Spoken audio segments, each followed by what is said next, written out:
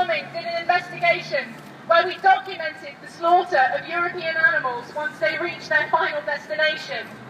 And let me tell you, the slaughter that we saw was the worst we have ever seen. I'm here because I believe in every animal's right to freedom, dignity and love.